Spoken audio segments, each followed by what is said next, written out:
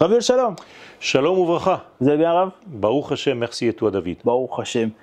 Rav, on a vu hier Benjamin Netanyahou devant le Congrès américain et on a vu cette euh, représentation israélienne. Et avant de commencer un petit peu dans mes questions, j'aimerais savoir ce que vous, vous en pensez. Bah, écoute, euh, moi j'ai vu en fait euh, pas seulement un homme, j'ai vu la nation d'Israël à travers cet homme-là.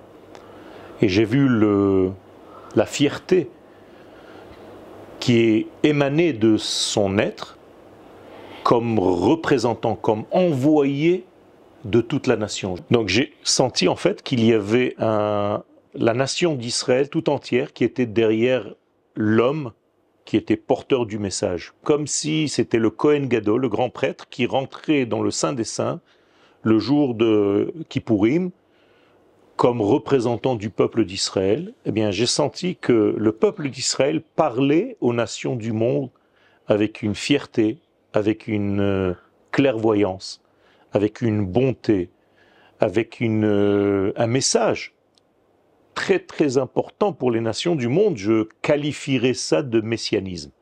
Je sais que c'est un mot aujourd'hui qui dérange beaucoup de gens, et pourtant, il y avait ici un discours messianique d'un homme qui était porteur de la nation et du message divin, qui a utilisé d'ailleurs et des sources, puisqu'il s'est référé à nos pères, Abraham, Yitzhak et Yaakov, et aux prophètes d'Israël.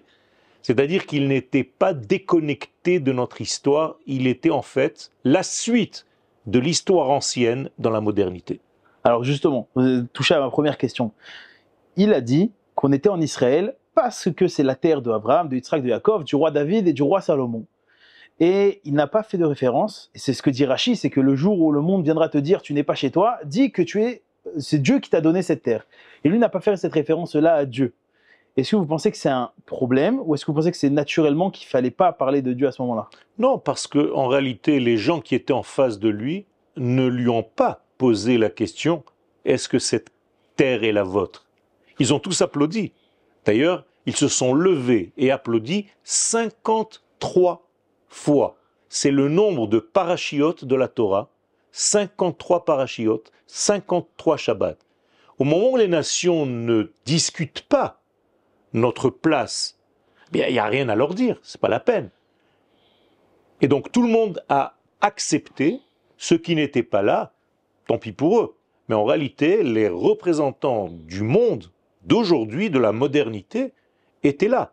Alors bien entendu, c'était un discours pour moi qui englobait en fait pas seulement la carrière d'un homme, parce que je pense que c'est son plus grand discours, mais qui faisait référence à tout ce que nous sommes au niveau le plus profond, le plus essentiel. Alors, dans, dans la Torah, on a euh, Israël, on a Esav et on a Ishmaël. Dans ce qu'il a dit, Benjamin Netanyahu, il y avait notre guerre, c'est votre guerre, euh, on est ensemble, etc. Est-ce que c'est une paix avec Esav? Est-ce que c'était c'est pas un danger de vouloir être que avec Esav contre Ah non. Ishmaël? Non, non, il ne l'a pas dit. Au contraire, il a dit que, à cause de la guerre, les traités d'Abraham qui avaient déjà commencé ont été un tout petit peu mis en parenthèse, mais en réalité que c'était le but à atteindre. Donc il n'a pas touché que le monde occidental, il a touché aussi l'islam, qui n'est pas l'islam radical qu'on connaît dans notre région, qui est un islam qui, lui, veut et comprend la place d'Israël dans l'histoire. Donc je pense qu'il a été très large, qu'il a balayé. Et d'ailleurs, je ne sais même pas si un homme de là-bas, des États-Unis, était capable de faire la paix quelque part entre les républicains américains et les démocrates américains. Et il a réussi à le faire. Parce qu'il a parlé de deux représentants, de Biden d'un côté et de Trump de l'autre. Est-ce que on n'a pas un peu l'impression que Benjamin Netanyahu face aux Américains, face à, Benjamin Netanyahu à l'étranger n'est pas le Benjamin Netanyahu qu'on a en Israël. Il y a énormément de voix qui s'élèvent en Israël par rapport au, fait que euh, a une responsabilité dans ce qui se passe, qu'il prend pas forcément cette responsabilité sur lui-même, qu'il attend la fin de la guerre et du coup la guerre continue. Quel est le respect que nous, en tant que peuple d'Israël, on doit donner à notre Rosh Mshala, dans la halacha, je parle, et quel- jusqu'à quel point on peut contredire et être contre ce qu'un Rosh va faire au niveau de la halacha Melech shemachal al kvodo en kvodo. Un roi n'a pas le droit de se laisser marcher sur les pieds parce que ce n'est pas lui personnellement qui est attaqué, c'est la souveraineté divine qu'il est en train de représenter. Or aujourd'hui, Binyamin Netanyahu est le roi d'Israël dans la structure existante, c'est-à-dire la démocratie, mais c'est une forme de royauté. Et donc, nous devons le respect comme le respect à un roi. Même si tu n'es pas d'accord, tu es obligé de te soumettre aux lois érigées par le roi en question. Aujourd'hui en Eretz Israël, ces paroles ne sont pas audibles comme elles le sont à l'étranger, d'une manière paradoxale. Pourquoi? Mais ça aussi, les Chachamim ont dit En Navi Be'iro.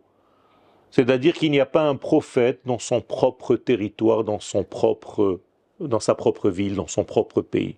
C'est-à-dire qu'à l'extérieur, on nous voit comme nous-mêmes, nous avons arrêté de nous voir. C'est-à-dire que malheureusement, certains d'entre nous se voient petits, se voient ridicules, voient l'Amérique comme une nation puissante et Israël comme quelque chose de rien du tout. Or, Israël a prouvé hier par la parole de cet homme que nous étions en fait les représentants du monde libre, les défenseurs de toutes ces lois. C'est-à-dire que même là-bas, aux États-Unis, il n'y a pas un homme qui parle avec cette envergure, avec cette grandeur, avec cette largesse et avec cette qualité, cette facilité dont il a fait preuve dans son discours moi, j'ai écouté ce discours-là, il y a deux fois, il a dit que les valeurs qu'il représente, etc., c'était euh, l'homosexualité, c'était la gay pride à Gaza, etc., il a parlé de tout ça. Alors, bien entendu, ce n'est pas le roi Mashiach.